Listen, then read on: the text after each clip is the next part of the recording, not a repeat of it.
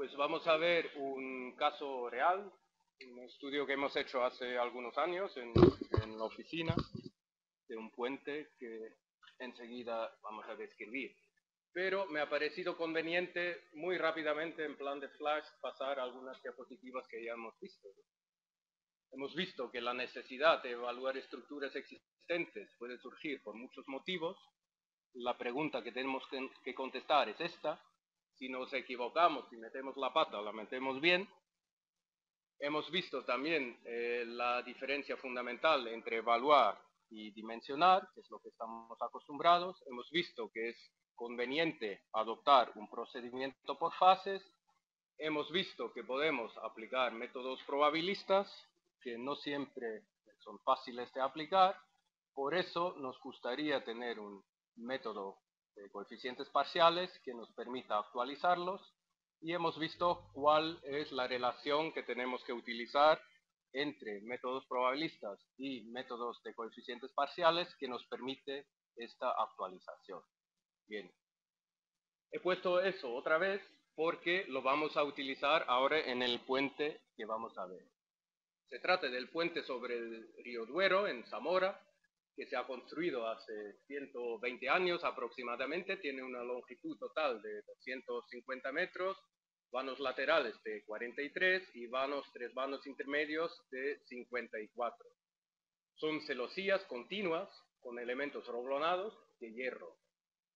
Los cordones superiores, aquí, estas celosías, tienen una forma en U en el caso del cordón inferior y U invertida en el caso del cordón superior. Luego hay diagonales en forma de cruz de San Andrés y hay montantes cada 3 metros 60.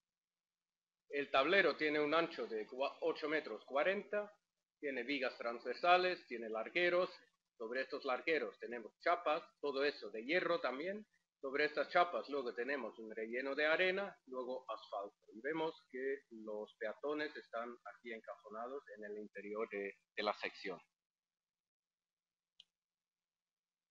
Aquí tenemos algún detalle, un nudo, donde vemos el cordón inferior,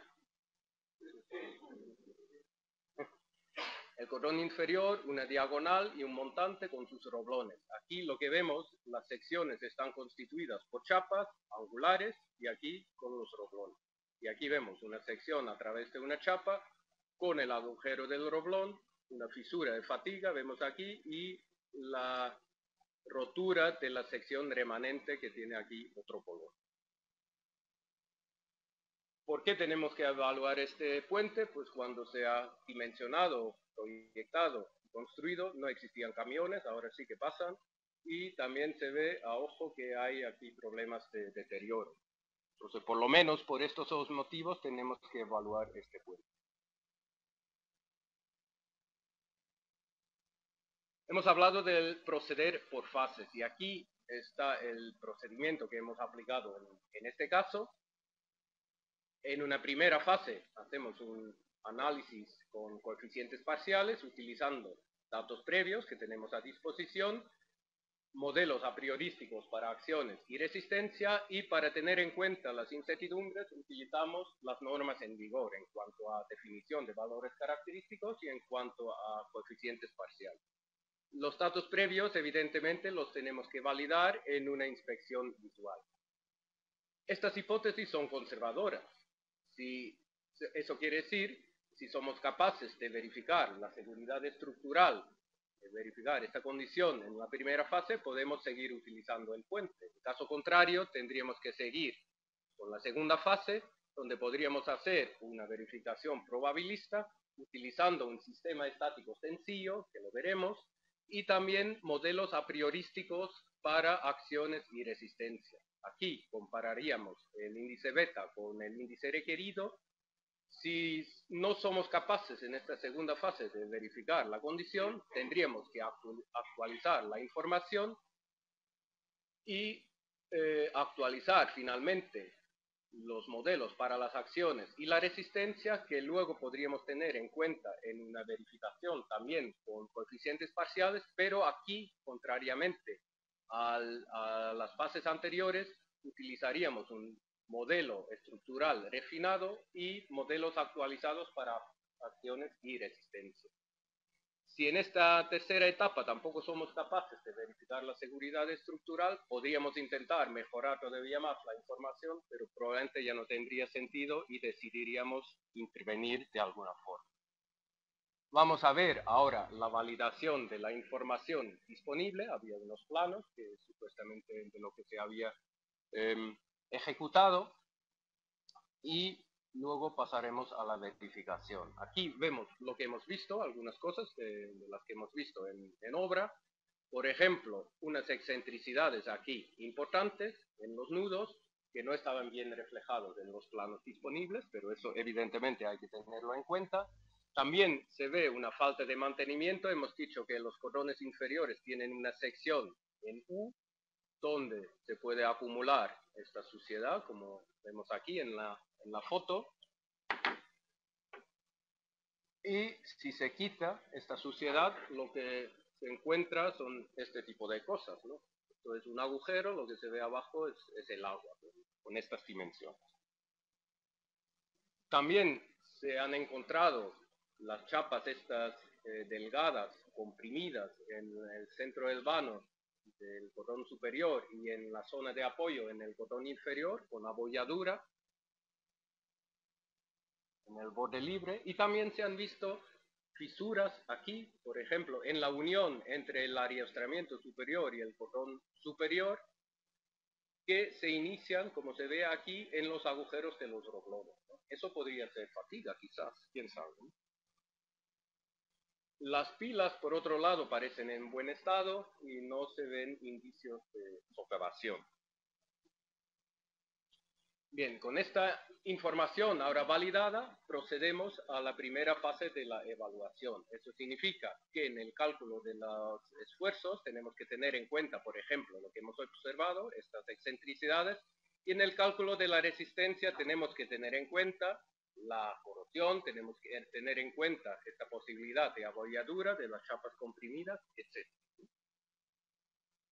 Hemos dicho que la verificación se hace aplicando las definiciones que están en las normas de dimensionado, comparando el valor de cálculo de los efectos de las acciones con el valor de cálculo de la resistencia correspondiente, que se obtiene a partir de los valores nominales de las acciones y de la resistencia y los coeficientes parciales definidos en las normas de dimensionado podemos definir un grado de cumplimiento que no es otra cosa que el cociente entre los valores de cálculo de la resistencia por un lado y de, los efectos de las acciones por otro.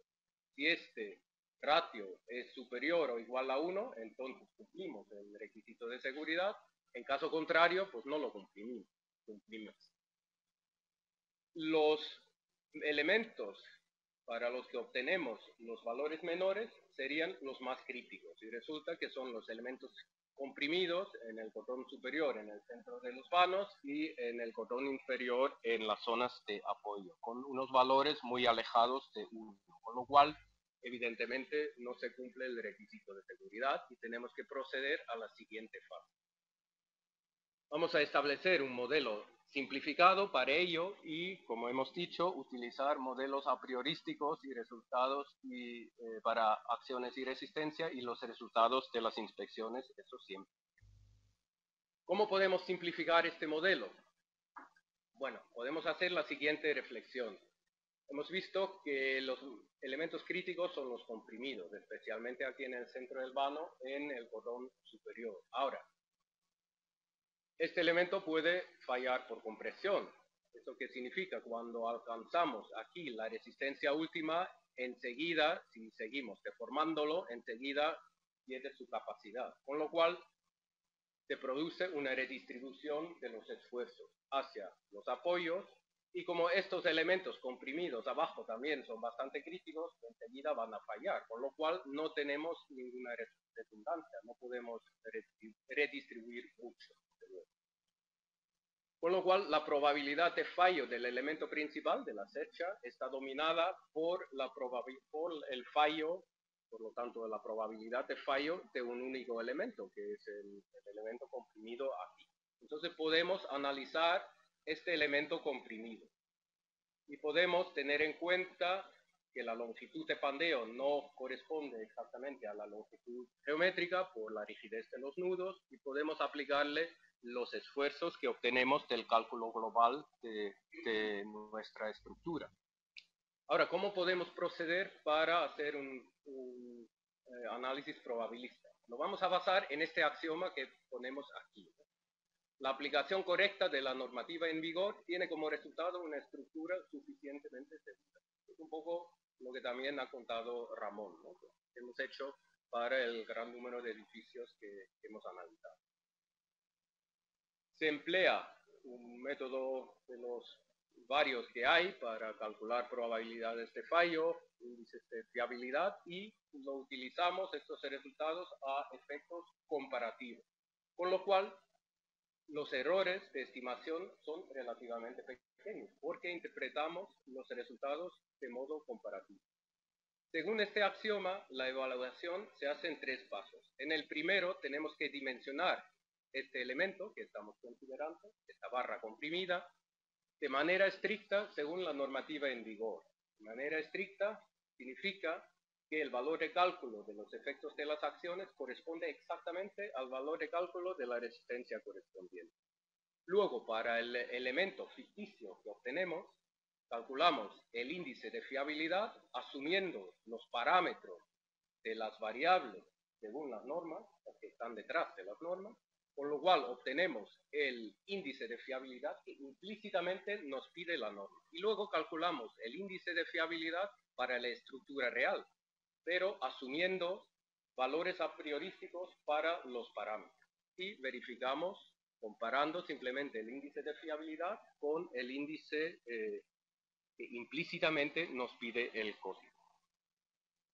Eso lo hemos hecho obteniendo un índice para la estructura real, el elemento real de la estructura, un poco más de 1, 1,1, y necesitaríamos realmente algo más de 4, con lo cual seguimos estando muy lejos de, lo que deberíamos tener. Ahora hemos visto en charlas anteriores que el índice de fiabilidad está relacionado con el punto de fallo más probable en la superficie de estado límite, este aquí. aquí Y además, los valores aquí obtienen los valores de las variables en este punto dependen de muchos parámetros, como hemos visto, entre ellos este factor alfa, que nos dice algo sobre la, la sensibilidad de la probabilidad de fallo del índice de fiabilidad a la variación de la variable correspondiente. Cuanto mayor el valor absoluto de este alfa, mayor será la influencia de la variación de algún parámetro, el valor medio, la dispersión, en la probabilidad de fallo. Y los valores máximos hemos obtenido para el límite elástico del hierro, 0,80, y para las acciones de tráfico, menos 0,45 aproximadamente. ¿Eso qué significa? ¿Por qué nos interesa eso? Bueno, porque la actualización de la información relacionada con estas variables será la más la que nos pueda aportar más ¿no? para la siguiente fase. Con lo cual nos vamos a centrar en actualizar estas variables. Y eso es precisamente lo que tenemos en cuenta para pasar a la siguiente fase, para planificar el programa de ensayos. Tenemos en cuenta estos resultados, actualizamos eh, estas variables y tenemos en cuenta los resultados para actualizar los efectos de las acciones y la resistencia y estos modelos actualizados los utilizamos luego en un análisis más sofisticado con un, eh, un modelo estructural más sofisticado.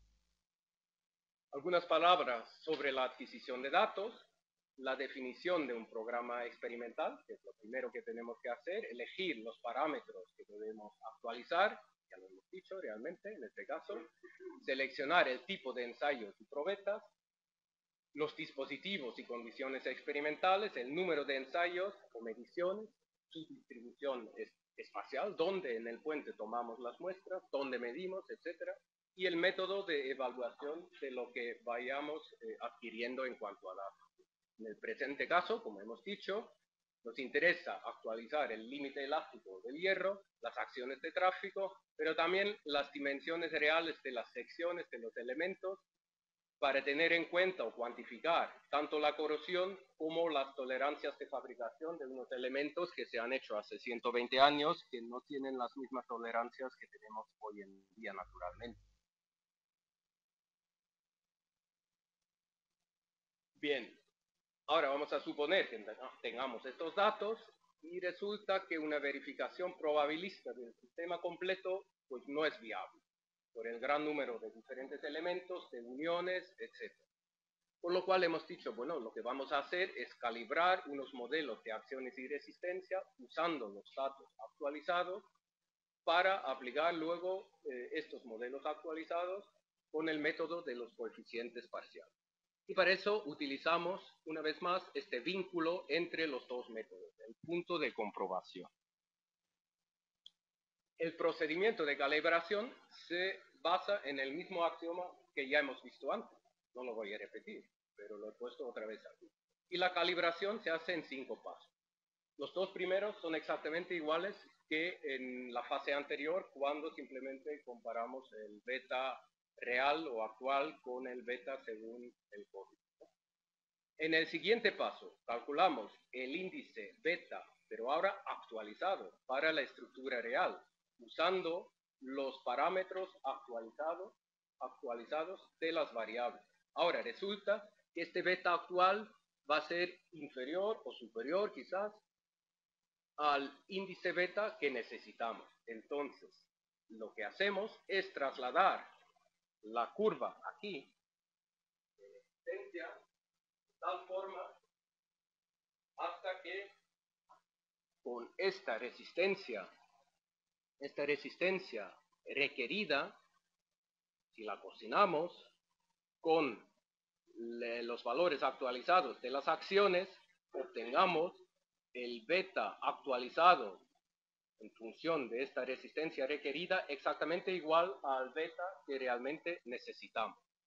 Y para esta nueva curva trasladada, calculamos los valores E asterisco, R asterisco, que son estos valores que tienen las variables en el punto de comparación, y lo comparamos con el valor característico correspondiente de cada variable. Y eso nos da el coeficiente parcial actualizado. Y eso lo hemos hecho. Aquí tenemos los resultados.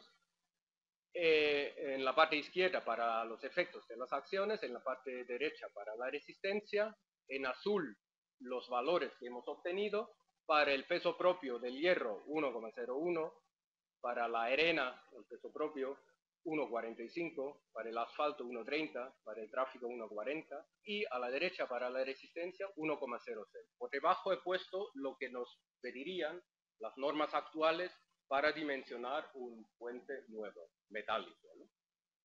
Bien, y ahora podemos utilizar estos coeficientes conjuntamente con los valores actualizados de los de los valores característicos de las variables para hacer nuestro análisis estructural y para hacer nuestras comprobaciones y luego decidir lo que tenemos que hacer con el puente.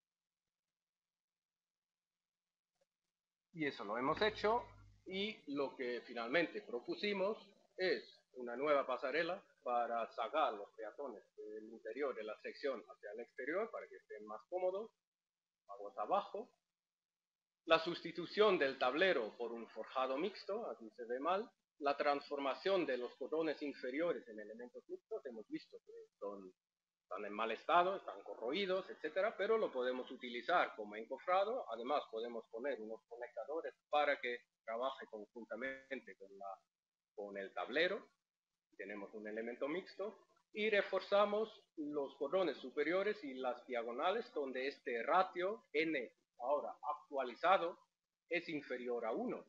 Y para eso utilizamos perfiles de acero y tornillos pretensados, porque no podemos soldar en estos hierros antiguos. Y aquí tenemos el resultado antes y después de este puente.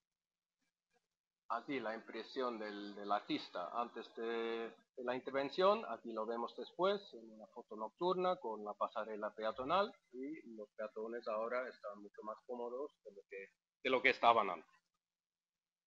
Bien, el uso futuro. Hemos visto antes que existen unas fisuras de las que no sabemos si pueden ser de fatiga quizás. cualquier caso, están ahí. Ahora, está claro que las cargas y el volumen del tráfico ha aumentado desde que se ha construido este puente. Y eso, las cargas variables repetidas, pueden conducir a una fisuración por fatiga, la iniciación y propagación de las fisuras hasta que estas fisuras A alcancen un valor crítico cuando ya se puede romper un determinado elemento. Ahora, para que se produzca una rotura por fatiga, se tienen que dar dos condiciones. Por un lado, tiene que haber iniciación y propagación de las fisuras, claro. Y por otro lado, estas fisuras se tienen que quedar sin detectar. Y si se quedan sin detectar, pues pasa esto. Esto realmente fue en Corea y efectivamente fue un problema de fatiga. Una fisura que no, una fisura que no se han visto. Ahora, también hemos visto las inspecciones realmente son esenciales a efectos de, control de riesgo, nos lo ha contado Jaime antes. Pero es obvio que los recursos para ello están limitados o en la práctica realmente no sé. Con lo cual interesa optimizar la, inspección, los procesos de, de inspección. Y vamos a ver lo que hemos hecho aquí. Volvemos a las dos condiciones que hemos mencionado para que haya una rotura por fatiga. Tiene que haber iniciación y propagación de la fisura por un lado y estas fisuras se tienen que quedar sin detectar. Eso lo podemos, estas dos condiciones las podemos representar en este esquema lógico, es un esquema estructural, es un esquema lógico en paralelo. Y como es un sistema en paralelo, podemos decir, bueno, la probabilidad de fallo, teniendo en cuenta el efecto de las inspecciones, depende de la probabilidad de fallo sin inspecciones por la probabilidad de no detección, que no es otra cosa que 1 menos la probabilidad de detección. Y eso tiene que ser inferior a la probabilidad de fallo admitido. Ahora, si no hacemos inspecciones, entonces este término aquí, la probabilidad de detección, cero, no lo vamos a detectar. Si hacemos inspecciones, cuanto mejores sean o cuanto más frecuentes vayamos a ver lo que está pasando, pues más va a subir este término. Con lo cual, baja la probabilidad de fallo teniendo en cuenta las inspecciones. Ahora, para poder tener en cuenta todo eso, tenemos que determinar todos estos parámetros, por lo menos. La iniciación de las fisuras, la propagación, el tamaño crítico de las fisuras y la probabilidad de detección de estas fisuras.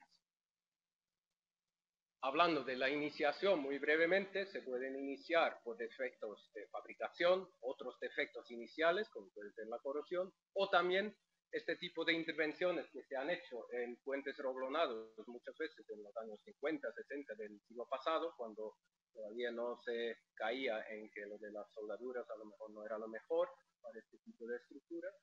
O también se pueden producir por deformaciones impuestas, como el, tráfico excéntrico, que introduce una deformación en el arrastramiento superior y puede causar este tipo de, de fisura.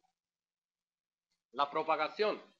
Bueno, aquí solamente nos tenemos que acotar que la mecánica de fractura, no voy a aburriros con eso, pero sí se puede, se puede calcular la propagación de este tipo de fisuras con métodos de mecánica de fractura.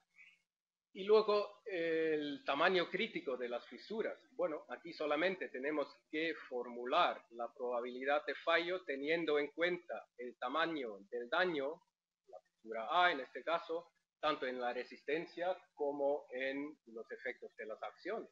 También puede influir por el cambio de rigidez. Y utilizando los métodos que nos presentó Juan Carlos, pues A crítico se alcanza en aquel momento cuando la probabilidad de fallo alcanza exactamente el valor admisible. Entonces tendríamos el valor crítico. Este análisis se tiene que hacer para diferentes funciones de estado límite, considerando la posibilidad de rotura dúctil o de rotura frágil. Y el menor valor de este tamaño nos da el tamaño crítico.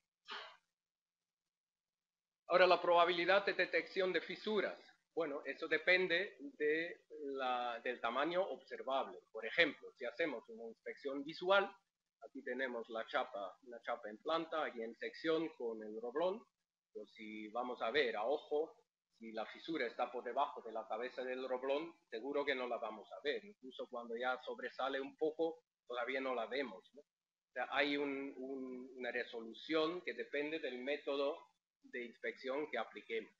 Conociendo esta resolución en función del método de inspección, está claro que tendencialmente, cuanto mayor la dimensión de la fisura, mayor será la probabilidad de detección si vamos a verlo. Eso también se puede cuantificar en función del método de, inspección que apliquemos, con lo cual tenemos realmente todo ya para, eh, para trabajar. Los datos de entrada para estimar la probabilidad de detección serían la propagación de la fisura, necesitamos esta relación A en función del número de ciclos, el tamaño crítico y tenemos que definir una estrategia de inspección que viene determinada por la técnica de inspección y por los intervalos de inspección. Si tenemos eso y tenemos la curva asociada a la técnica, la curva que nos dice qué probabilidad tenemos en función del tamaño de la fisura, podemos determinar en función del intervalo de inspección cuántas veces podemos inspeccionar un elemento determinado con un tamaño de fisura que esté en algún sitio entre lo que podemos detectar y el tamaño crítico. Y podemos decir, bueno, solo tenemos en cuenta la última de estas oportunidades que nos da una estimación conservadora de la probabilidad de detección. Las, las dos anteriores, que son muy bajas, pues prácticamente no pueden. Bien, y ahora podemos hacer una optimización, naturalmente, en términos de coste. El coste asociado al periodo de servicio futuro depende del coste de, la, de las inspecciones, depende del coste del riesgo, que a su vez es función de la probabilidad de fallo, teniendo en cuenta las inspecciones, y de los efectos, de las consecuencias del fallo en caso de que se produzca. Es el producto de ambos, ambos términos.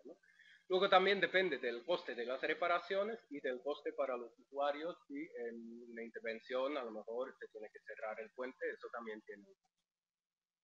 Bien, los dos primeros términos, el coste de las inspecciones y el coste del riesgo, depende de la estrategia de inspección que adoptemos. Ahora vamos a aplicar esto a nuestro ejemplo, vamos a considerar el cordón superior aquí en la zona de momentos negativos. Como estrategia de inspección, bueno, eh, no podemos instalar muchos instrumentos ahí, no hay dinero, con lo cual la administración quiere que se hagan inspecciones visuales periódicas. ¿Con qué intervalo? Bueno, eso precisamente es objeto de la optimización. El problema es la estimación realista de los costes parciales, de todos, estos términos que hemos visto. Para obviar este problema, lo que hemos, hecho es representar los resultados en términos comparativos. Dividiendo el coste en función del intervalo de inspección entre el coste sin inspección también lo podemos calcular, y así tenemos una comparación relativa. Lo que observamos aquí en los resultados es lo siguiente, el intervalo óptimo para las inspecciones está en torno a tres años más. Para un intervalo mayor de nueve años podría ocurrir que no tengamos ninguna oportunidad para detectar una determinada fisura en este elemento. Eh, la reducción del coste total esperado mediante las inspecciones es del orden del 25%. También vemos que la variación en el coste aquí relativo es relativamente pequeña para intervalos entre 2 y 6 años. ¿Eso qué significa? Bueno, que las inspecciones son importantes, pero una determinación exacta del intervalo de inspección tampoco es tan importante. Podemos decir, bueno, inspeccionamos cada 3 años o cada 4 algunas observaciones finales. Ya lo hemos dicho varias veces, pero creemos que es tan importante que merece la pena eh, repetirlo. En la evaluación de una estructura existente se pueden reducir muchas incertidumbres. Un análisis estructural correcto, basado en datos erróneos o incompletos, puede conducir a conclusiones completamente equivocadas. La correcta actualización de datos es el paso más importante por ello en la evaluación de una estructura y se debe cuidar mucho la planificación, la ejecución y la evaluación de los ensayos. También hemos dicho ya varias veces en esta tarde que los métodos probabilistas son los más adecuados seguramente para tener en cuenta la información actualizada, nos pueden aportar bastantes beneficios.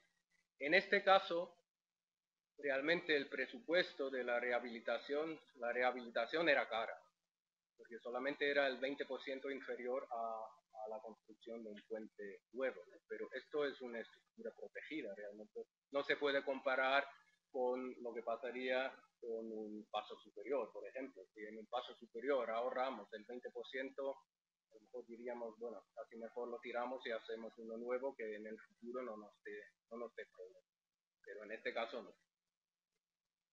La inspección es una herramienta potente para reducir riesgos y podemos obtener beneficios importantes a través de la planificación basada en análisis y eso era el mensaje que quería transmitir.